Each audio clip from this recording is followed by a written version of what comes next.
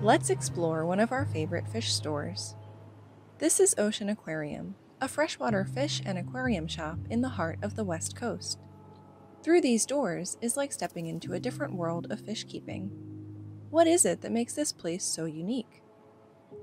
On the outside, Ocean Aquarium just looks like your quintessential fish shop with a wide selection of aquarium fish, plants, and supplies. But shop owner Justin shares with us that he uses a special strategy of maintaining his aquariums and keeping his fish healthy. Similar to what we see in nature, aquarium plants play a large role in keeping the tanks clean. The shop uses fast growing, low maintenance plants to help filter the water by removing excess fish waste and organics. In turn, the plants help provide oxygen to the water for the fish and the addition of air stones in each tank ensures the water is plenty oxygenated for the fish to thrive. The owners also share with us that they had excessive algae growth as a result of too much water movement in their aquariums. Instead of oversized filters, a simple, small filter in each tank helps keep the water slowly circulating.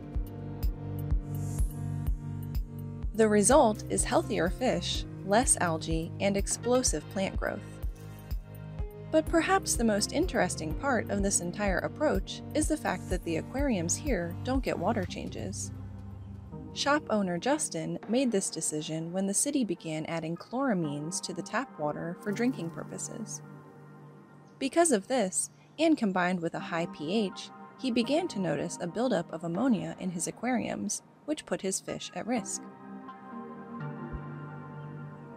Now the aquariums act as their own small ecosystems, complete with a deep substrate bed full of beneficial bacteria for biological filtration.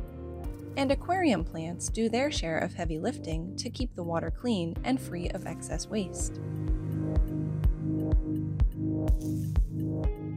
The fish are thriving as well and display their brightest colors.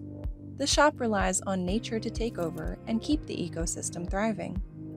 The water is simply topped off when necessary. They even have their own way of adding CO2 to each tank, giving the plants even more of a boost. A small cylinder is used to inject CO2 into a recycled bottle in the water column. The gas slowly dissolves into the water over time through the bottle opening.